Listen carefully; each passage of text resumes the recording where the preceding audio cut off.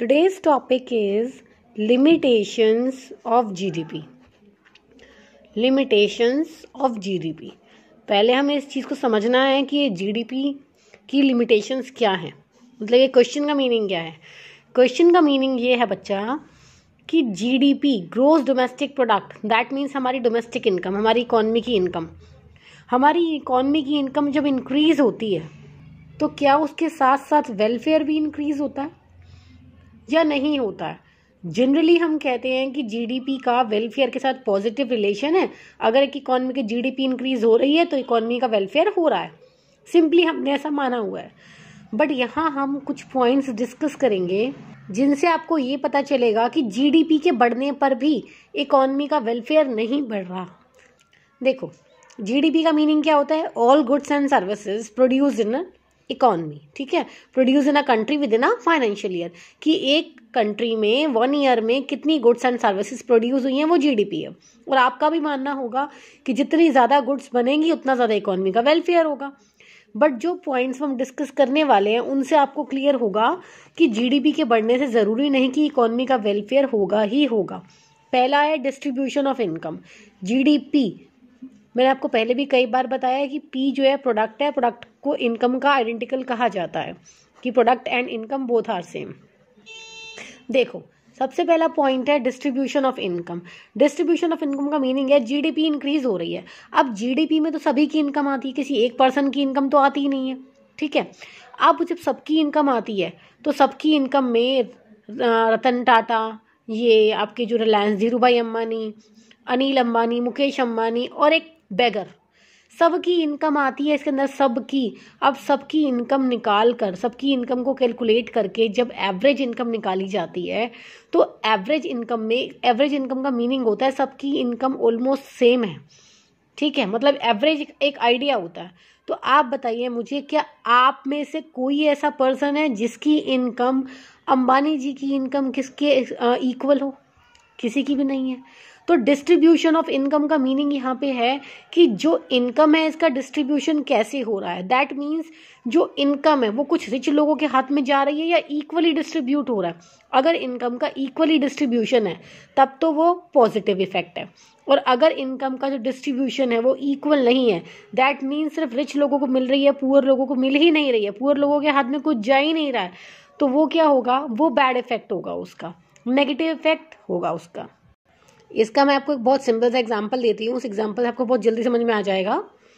Suppose that एक आपका कोई अमेरिकन फ्रेंड है, ठीक है?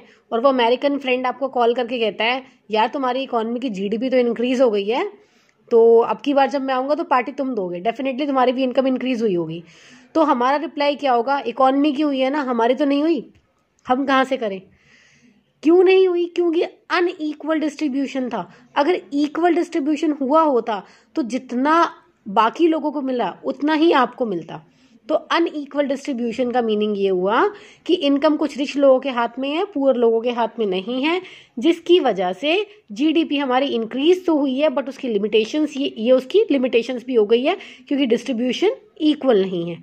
Point one clear point number two है हमारा कॉम्पोजिशन ऑफ़ जीडीपी कॉम्पोजिशन का मतलब होता है कि वो किससे बना है।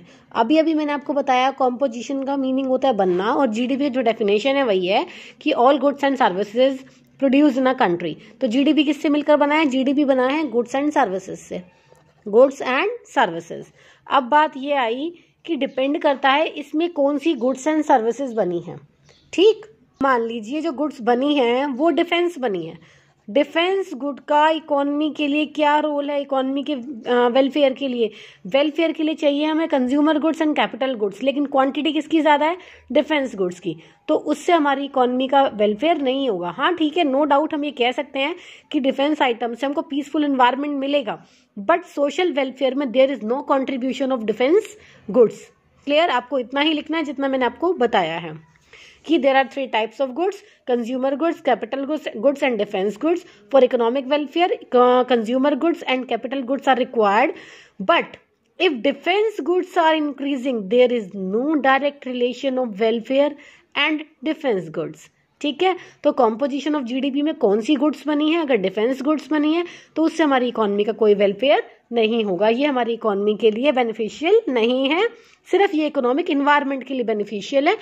आ, ये हमारे पीसफुल इन्वायरमेंट के लिए बेनिफिशियल है। कंट्री की ग्रोथ के लिए बेनिफिशियल नहीं है। Point number three non monetary exchange non monetary exchange का मतलब होता है बच्चा कि जिसमें हम लोग पेमेंट नहीं करते। उसको हम बोलते हैं नॉन मॉनेटरी एक्सचेंज नाम से क्लियर हो गया कि नॉन मॉनेटरी एक्सचेंज मॉनेटरी मतलब मनी टर्म्स कि जहाँ पर मनी की टर्म्स में आप लोग एक्सचेंज नहीं करते हो, जहाँ पे गुड्स को गुड्स के साथ एक्सचेंज किया जाता है। पहले तो ये बताओ, ये सिस्टम अभी प्रिवेल करता है या नहीं करता? ये सिस्टम है या नहीं? एग्जिस्ट है या नहीं? अब आप लोग कहेंगे, नहीं मैम ये तो पहले था। तो बच्चा, ये सिस्टम अभी भी आप कॉमनली देखते हो। आप सिंपली अपनी क्लास में ही देखते हो। क्लास में किसी बच्चे के पास ब्लैक पेन है, किसी पे ब्लू है तो एक्सचेंज कर लेते हैं। कि मेरे पास दो ब्लैक पेन है, तुम्हारे पास दो ब्लू है, चलो एक्सचेंज कर लेते हैं। तो नॉन मॉनेटरी एक्सचेंज का मीनिंग क्या हुआ कि आपने गुड्स को गुड्स के साथ एक्सचेंज कर लिया, वहाँ पर आपने कोई पेमेंट नहीं की है।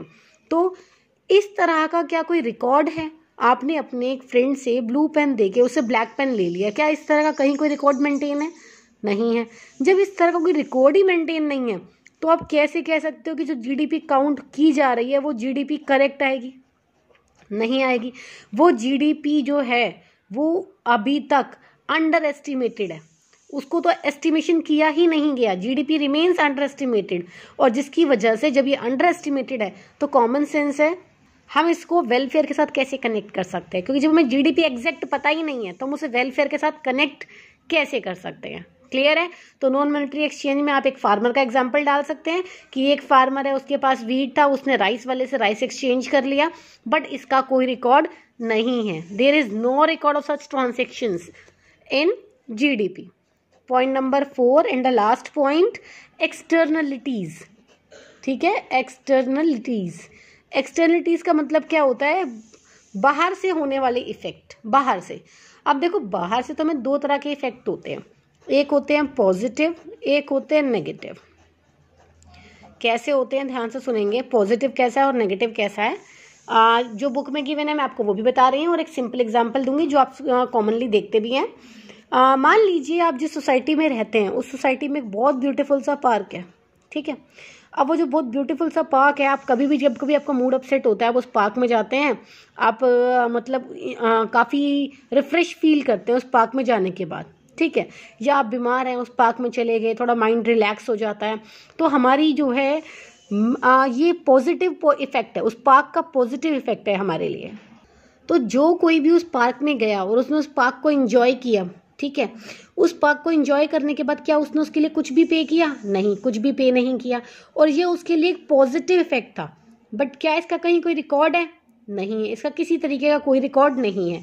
आगे दूसरा भी सुनेंगे, फिर मैं दोनों एक साथ ऐड करूँगी। नेगेटिव अब मान लीजिए आपके, जिस सोसाइटी में आप रहते हैं, वहीं पे साइड में एक इंडस्ट्री है। और जो इंडस्ट्री वहाँ पर है, वो इंडस्ट्री पोल्यूशन क्रिएट कर रही है। पोल्यूशन क्रिएट करने की वजह से आप लोग बीमार पड़ रहे हैं बहुत ज़्यादा तो पोल्यूशन की वजह से मतलब पोल्यूशन कौन सा है? एयर पोल्यूशन नॉइज़ पोल्यूशन अब दोनों ही आपके लिए प्रॉब्लमेटिक है। तो यहाँ आप पर नेगेटिव इफ़ेक्ट हो रहा है। बट क्या आपने इसके लिए कुछ पे किया? नहीं। पे आपने इसके लिए भी कुछ नहीं किया पे आपने इसके लिए भी कुछ नहीं किया। बट यहाँ आपको पॉजिटिव इफ़ेक्ट हो रहे हैं, यहाँ पर आपको नेगेटिव इफ़ेक्ट हो रहे हैं। इससे सोशल वेलफेयर को लॉस हो रहा है और इससे सोशल वेलफेयर इंक्रीज हो रहा है। बट जीडीपी के अंदर ये पॉजिटिव और नेगेटिव दोनों में से किसी को भी काउंट नहीं किया जाता। ना पॉजिटिव को कि हाँ इससे इंक्रीज हुआ वेलफेयर ना नेगेटिव को इससे इससे लॉस हुआ वेलफेयर का। तो दोनों को ही जीडीपी में काउंट नहीं किया था दोनों ही अंडर एस्टिमेटेड है। तो इससे हम लोग कैसे कह सकते हैं कि जीडीपी जो है हमने काउंट भी कैलकुलेट भी सही की है। तो ये फोर पॉइंट्स हैं distribution of GDP composition of GDP non monetary exchange and externalities ये फोर पॉइंट्स हैं जो कि जीडीपी की लिमिटेशंस बताते हैं। बेसिकली जीडीपी का बढ़ना किसी भी इकोनॉमी के लिए बेनिफिशियल होता है।